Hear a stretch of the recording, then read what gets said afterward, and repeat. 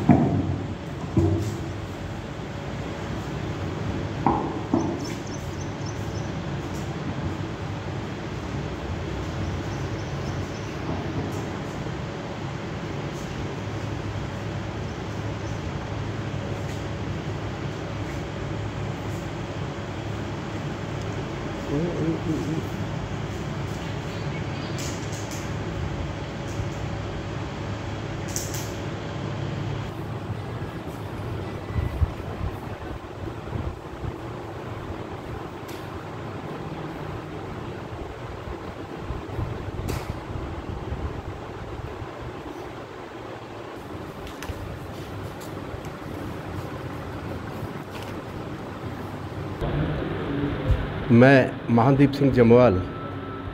president senior citizens club Udhampur. आज का ये जो यहाँ पे शोक सभा रखी गई थी, ये बेसिकली कि जैसे हमारे क्लब के चेयरमैन डॉक्टर आदर्श जी ने इस पर रोशनी डाली है कि डोगरी और हिंदी के एक महान कलाकार, जो जिनकी एक बहुत बड़ी कंट्रीब्यूशन डोगरी साहित्य में थी, पद्मा सचदेव जी, जिनका जन्म 17 अप्रैल 1940 को परमंडल में हुआ था, वो कल जो है इस संसार को छोड़कर हमारे बीच से चली गई। उन्हीं को उन्हीं को श्रद्धा, जो श्रद्धा सुमन अर्पित करने के लिए हमने यहाँ के जो साहित्य जगत से उधमपुर से जुड़े हुए महान हस्ती हैं, जिनमें हमारे पद्मश्री शिव निर्मोही जी साहित्य एकेडमी अवार्डी श्री प्रकाश प्रेमी जी, महान कलाकार डॉक्टर आदर्श जी, जो कि हमारे क्लब के चेयरमैन भी हैं इसी तरह हमारे लेखक जगदीप दुबे जी और साहित्य से जुड़े हुए तमाम जितनी भी उधमपुर से विभूतियाँ हैं सबसे एक जॉइंट कंसेंसिस के बाद आज हमने यहाँ पे पद्मा सचदीप जी की याद में ये एक जो है शोक सभा रखी हुई थी। यहाँ तक पद्मा सचदेव जी की बात करें तो यहाँ ये कहना बड़ा ज़रूरी होगा कि शायद वो अ, हमारे जम्मू कश्मीर की हिस्ट्री की मैं बात कर सकता हूँ कि वो पहली साहित्य एकेडमी अवार्ड विनर थी जिन्होंने इकतीस साल की उम्र में अपने जो एक गीत माला थी, मेरे गीत नाम की जो उनकी पहली पुस्तक थी, वो उस पर उनको साहित्य एकेडमी अवार्ड जो है उन्नीस सौ इकहत्तर में मिला। मुझे याद है कि उस किताब का, उन्होंने 1969 में ये किताब लिखी थी तो उसका पढ़ने के बाद हमारे हिंदी के एक बड़े जो हैं, कवि गनु हैं, राम धारी दिनकर जी उन उनका ये टिप्पणी थी उस किताब पे कि पद्मा सचदेव जी की किताब को पढ़ने के बाद मुझे ऐसा महसूस हो रहा है कि मैं अपनी लेखनी को जो है फेंक दूँ, क्योंकि पद्मा सचदेव जी ही के जो शब्दों में जो सही लिखी गई है यही शायरी का मतलब है। उनका सफ़र सिर्फ़ खाली साहित्य अकेडमी अवार्ड में ही ख़त्म नहीं हुआ, बल्कि उन्हें 2001 में पद्मश्री से नवाजा गया। और उनके क्रेडिट में अगर हम देखें तो शायद ही साहित्य से जुड़ा हुआ कोई एक पुरस्कार है, जो उनकी झोली में, या जिससे वो सम्मानित ना हुई हों। वहीं पे, इनके अलावा उनकी जो लिटरेरी वर्क के अलावा अगर हम देखें तो हिंदी फ़िल्मों में भी उनकी जो वो उन्होंने तीन चार फ़िल्मों में गाने लिखे थे। और एक बड़ी मशहूर फ़िल्म, जो प्रेम पर्वत थी, जिसकी शूटिंग हमारे उधमपुर में, कोद में हुई थी तो उसका एक बड़ा मशहूर गाना था। वो भी पद्मा सचदेव जी का लिखा हुआ था। तो वो तकरीबन हर लोगों के होंठों पे जो है, वो थिरकता रहता है। वहीं पे अगर हम बात करें तो फिल्मी गीत के अलावा डोगरी में उनके लिखे हुए जो गाने थे, जैसे आम हम, आए दिन जो है, तकरीबन हज़ारों करोड़ों लोग उसके जो, उनके होंठों पे हैं। जैसे पला सपाइया डोगरिया, वो और निक्के फंगड़ू ऊँची उड़ान, ये ऐसे महान गाने उन्होंने लिखे थे, जिनके जो है हमारी जो जो गायक गायिका, महान गायिका लता मंगेशकर जी ने उनके ये गाने गाए। तो इन उनके जाने से एक जो डोगरी के साहित्य में हम ये समझते हैं कि ये जो एक वैक्यूम क्रिएट हो गया है, इसको पूरा करना जो है नामुमकिन सी बात है। क्योंकि मैं ज़्यादा ना कहते हुए, क्योंकि ये साहित्य हुए, से जुड़े हुए बहुत महान विभूति मेरे साथ खड़ी हैं तो मैं अपने शब्दों को यहीं पे विराम देता हूँ। मैं प्रकाश प्रेमी आज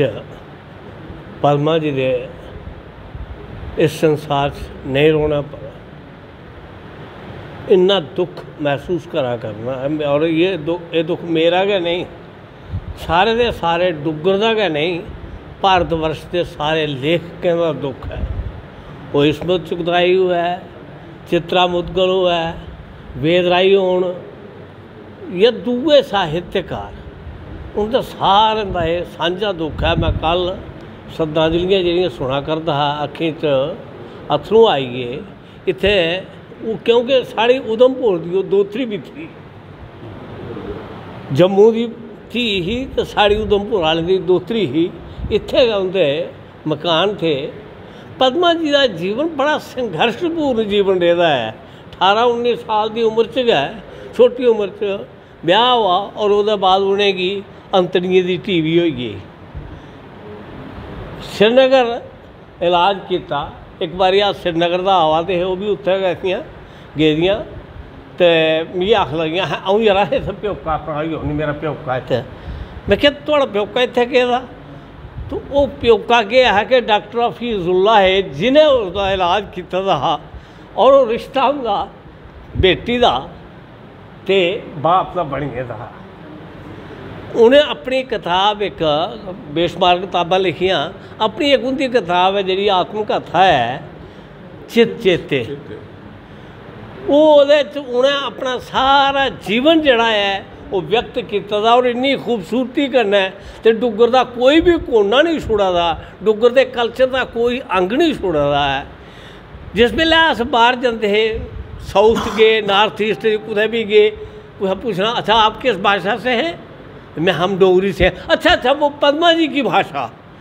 यानी इन्ना पद्मा का वो, हा कि उसी पूरा भारत वर्ष के लेखक जड़े है, वो जानते हैं, खड़ंग,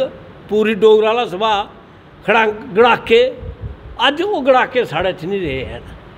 अज असी इस चला, गल का दुख है कि एक महान साहित्यकार इस दुनिया च चली आ, और उसकी थां कदें भी कई सैकड़े साल भी पूरी नहीं होग, ऐसा मेरा मनना है। वो उन्हें सिर्फ़ पद्य गै नहीं लिखा कविता गै नहीं लिखी, बल्कि नावल लिखे, ज़िंदगी नामे लिखे कहानियाँ लिखियाँ। तो ये बहुमुखी प्रतिभा कलाकार कुसै भी भाषा का जाना, उस भाषा का बड़ा बड़ा नुकसान होंगे अपने कन्नै गै पदमा जी की अपने प्यार भरोची श्रद्धांजलि देना कि कि मेरे कन्नै तो उनका एक रिश्ता जोड़ा हो इ'यां भ्राएँ वाला रिश्ता हा भैनें वाला रिश्ता हा तो मिगी अज्ज जेह्ड़ा दुख है उसी मैं व्यक्त नहीं कर सकता इन्हें शब्दों कन्नै मैं उनेंगी श्रद्धा सुमन अर्पित करता डोगरी के गढ़ जिन्होंने भाई पंतों के ग्रां पैंथल का रौने वाला पदमा सचदेव के परिवार कन्नै बड़े नज़दीक कन्नै जुड़े दा अज उंदे देहात स्थान की उप्पर जी शोक सभा हुई है वो कन्नै आमी अपने अत्थरू नहीं रोकी सकेआ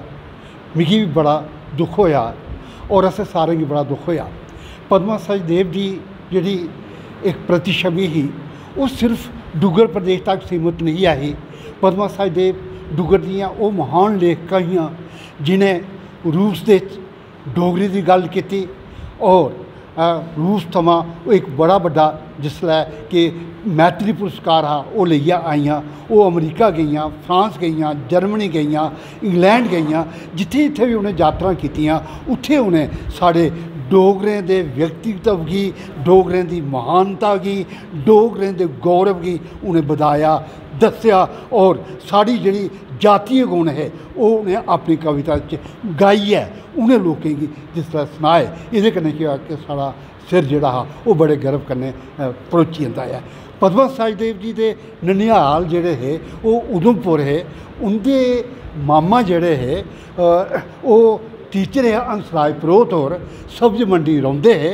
और ओह् जिसलै बी मिगी मिलदे हे पद्मा हुंदी जिसलै गल्ल चलदी ही ते ओह् बड़े खुश होंदे हे आपूं बी ओह् कविता लिखदे हे डोगरी च बी लिखदे हे और उर्दू च बी कविता लिखदे हे आखदे दिखदे एह् मे मेरा असर जेह्ड़ा ऐ मेरी पढ़ाई च गेआ ऐ और अज्ज मेरी पढ़ाई जेह्ड़ी ऐ इक बड़ी बड्डी गायिका ऐ पद्मा सचदेव हुंदी च एह् सिफत ही अगर ओह् बम्बई रेहियाँ ते उ'नें बम्बई दे जेह्ड़े महान कलाकार हे चाहे लता मंगेशकर हियाँ महेंद्र कपूर हे उं'दे कोला डोगरी दे गीत गोआए एह्दे कन्नै केह् होया कि साढ़ी डोगरी भाशा दी मधुरता मिठास सरसता सरलता जेह्ड़ी ही ना ओह् उभरी आई अज्ज सारा सारा साढ़ा डोगरी दा साहित्यक क्षेत्र जेह्ड़ा ऐ ओह् इ'यां अ, अ, क्षत बी क्षत ऐ ते अति दुखी ऐ अस उस्सै दुखी मन कन्नै उनेंगी भावभीनी श्रद्धांजलि अर्पित करने आं में सीनियर सिटीजन फोरम दा बड़ा आभारी आं कि उनें अग्गे आनियै इस महाकवियत्री दे